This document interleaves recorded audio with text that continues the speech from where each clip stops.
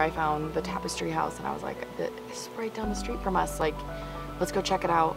And the feeling that we had when we left here, we both kind of looked at each other and we're like, I think that's the spot. It was pretty clear from the beginning. There was nothing that was going to be forgotten. Like if there was anything that we forgot about or didn't plan or think of or whatever, they were going to bring it up. We had been to a family wedding the year prior, and uh, there was a lot of stress to set up, take Yeah. down, to get the food right, like things like that. And my fam, we just got so many compliments, like from our wedding. There were a lot of responsibilities at that wedding That that, was- were taken care of here. Yes. And it allowed for not only us, but also our family, Family to enjoy and friends to not have to worry about anything. Just know that all this is going to be taken care of.